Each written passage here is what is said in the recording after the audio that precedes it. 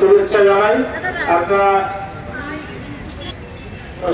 থেকে এসছে এছাড়া বিভিন্ন জায়গা থেকে আরও মানুষ আসবেন। আমাদের প্রত্যেককে আমি রাখি উৎসবের শুভেচ্ছা, অভিনন্দন জানাচ্ছি। আপনারা প্রত্যেকেই জানেন।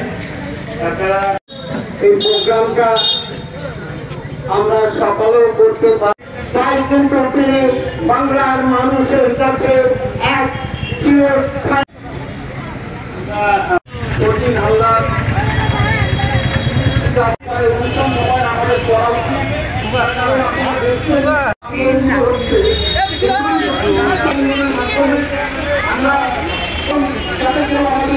আজকের এই অনুষ্ঠানে উপস্থিত রয়েছেন আমাদের বিলকান্দা ওয়ার্ডের প্রাক্তন প্রধান শেখ দিন মোহাম্মদ মহাশয় উপস্থিত রয়েছেন আমাদের লড়াকু নেতা এবং চারবারের সদস্য আমাদের সচিন হালদার মহাশয়। একটা বিচার চাই, সুবিচার চাই, কিন্তু এবং সব তিনি এবং জনগণের উপর আস্থা আছে এবং আমাদের আজকে এই, উম,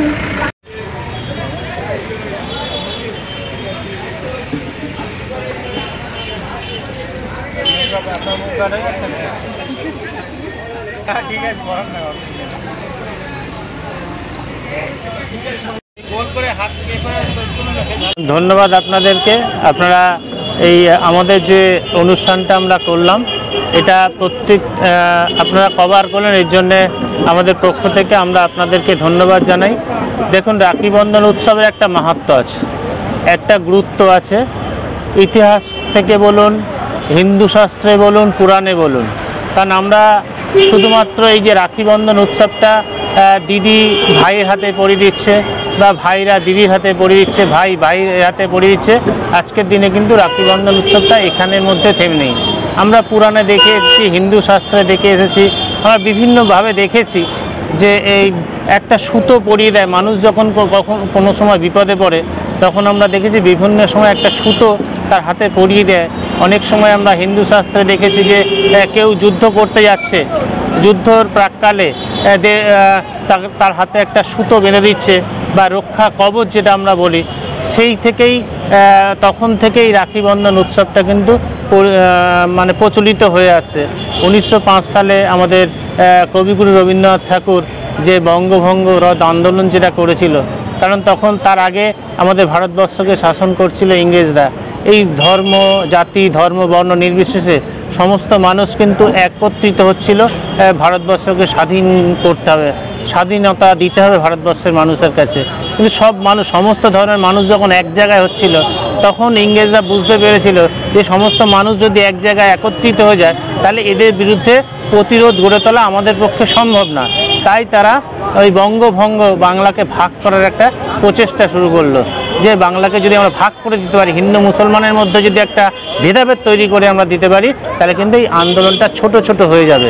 ফলে তাহলে আমাদের এই বাঙালির যে প্রতিরোধ গড়ে তুলছিল ইংরেজদের বিরুদ্ধে, সেটা তাহলে আন্দোলনটা ছোট হয়ে যাবে।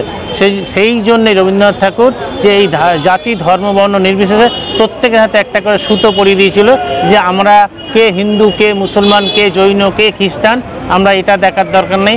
আমাদের একটাই ধর্ম, আমরা মানব ধর্ম। কারণ এই আমাদের দেশকে স্বাধীন করতে হবে, এই পরাধীনতার হাত থেকে আমাদের দেশকে মুক্ত করতে হবে। আমরা রামায়ণে দেখেছি যখন বানর আর তার ভাই উদ্গ্রীবের যখন প্রচণ্ড একটা ভাই ভাইয়ের মধ্যে একটা দ্বন্দ্ব শুরু হয়েছিল, তখনও কিন্তু রামচন্দ্র ওই বানরকে হত্যা করেছিল।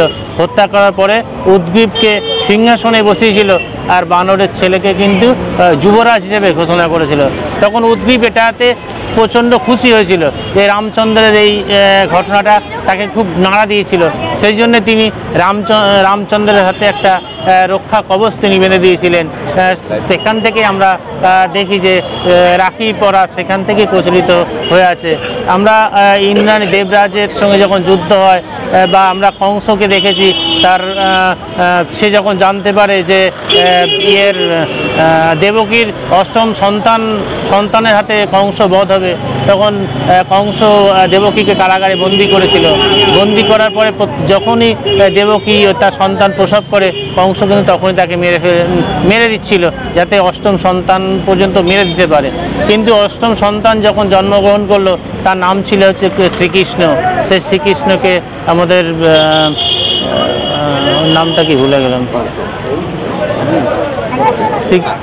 যশোদা শ্রীকৃষ্ণের হাতে একটা ওই সুতো বেঁধে দিয়েছিল যাতে কংস তাকে বধ করতে না পারে। এইভাবে আমরা বহু পুরাণে বা হিন্দু শাস্ত্রে অনেক ঘটনা আমরা দেখি যে এই রক্ষা কবচ যেটা মানুষকে রক্ষা করে, অর্থাৎ এখনও আমরা যেটা প্রচলিত হয়ে আসছে শুধু ভাই ভাইয়ের মধ্যে এই প্রচলনটা কিন্তু নেই। মানুষ যখনই বিপদে পড়বে, তার হাতে যদি একটা আমরা এই সুতো বেঁধে দিতে পারি, রক্ষা কবচ হিসেবে বেঁধে দিতে পারি, মাননীয় মুখ্যমন্ত্রী মমতা বন্দ্যোপাধ্যায় এইভাবেই বাংলার সমস্ত মানুষকে তিনি জাতি, ধর্ম, বর্ণ নির্বিশেষে সবাইকে এক করে এক রাখার চেষ্টা করছে।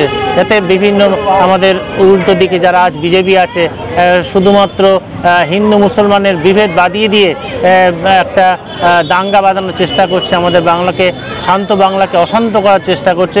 এর হাত থেকে মাননীয় মুখ্যমন্ত্রী মমতা বন্দ্যোপাধ্যায় সবসময় চেষ্টা করছেন যে বাংলাকে একত্রিত রাখতে, এক রাখতে, যাতে কেউ এসে আমাদের ভারতবর্ষের বিভিন্ন এরা আসছে প্রধানমন্ত্রী থেকে শুরু করে এরা ভারত পশ্চিমবঙ্গে এসে এই যে ঝামেলা একটা উস্কানিমূলক বার্তা দিয়ে যাচ্ছে।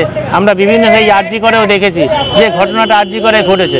জঘন্যতম ঘটনা, নির্মম একটা ঘটনা ঘটেছে কিন্তু আর্জি করে। আমরা এর তীব্র প্রতিবাদ জানাচ্ছি, কিন্তু আমরাও চাই যিনি দোষী, যারা প্রকৃত দোষী, তা এই দোষীরা প্রকৃত শাস্তি পাক। তাদের আমাদের মাননীয় মুখ্যমন্ত্রী তাকে ফাঁসি চাইছেন। আমাদের যুবরাজ তিনি বলেছেন ওকে এনকাউন্টার করা হোক। কিন্তু আপনারা দেখছেন বিভিন্ন সংবাদ মাধ্যম খুললেই দেখছি বিভিন্ন জায়গায় বিজেপি, সিপিএম রাস্তায় নেমে পড়েছে যে মমতা ব্যানার্জি এর জবাব দিতে হবে। মমতা ব্যানার্জি জবাব দেবে যে কদিন মমতা বন্দ্যোপাধ্যায় পুলিশের হাতে ইনকোয়ারিটা ছিল, তখন মমতা বন্দ্যোপাধ্যায়ের জবাব দেওয়ার প্রশ্ন ছিল। এখন তো সেটা সুপ্রিম কোর্টের আন্ডারে চলে গেছে। এখন হাইকোর্ট সিবিআই তদন্তের নির্দেশ দিয়েছে। তাহলে যেখানে হাইকোর্ট সিবিআই নির্দেশ দিচ্ছে, সিবিআই তদন্ত চলছে এবং সুপ্রিম কোর্ট দায়িত্ব নিয়েছে এই ঘটনা ইনকোয়ারি করার জন্য। সেখানে মমতা বন্দ্যোপাধ্যায়কে দায়ী করা কেন হচ্ছে? কেন মমতা বন্দ্যোপাধ্যায় যে মমতা বন্দ্যোপাধ্যায় নিজেও তো আন্দোলন নেমেছেন। আমরা যারা তৃণমূল কংগ্রেস কর্মী, আমরাও তো আন্দোলনে নামছি যে যারা প্রকৃত দোষী, তারা শাস্তি পাক। এই কথাই আজকের দিনে আমরা সবাইকে বলতে চাই যে ধর্ম, বর্ণ নির্বিশেষে আমরা প্রত্যেকে যাতে এক থাকতে পারি। আমাদের সবার ধর্ম আমরা সবচেয়ে বড় ধর্ম মানব ধর্ম। আমাদের মধ্যে বিভা- বিভেদ, ভেদাভেদ ভুলে আমরা যে মানুষ, আজকে এই মঞ্চ থেকে আমরা প্রত্যেকে সেই বার্তাটাই দিতে চাই যে শ্রেষ্ঠ ধর্ম হচ্ছে মানুষ ধর্ম, মানব ধর্ম। যখন রাজনীতি, রাজনীতির জায়গায় কিন্তু আমাদের ধর্মটা ধর্মের জায়গায় থাকা উচিত এই কথা বলে আমি আপনাদেরকে ধন্যবাদ জানিয়ে আমার শেষ করলাম।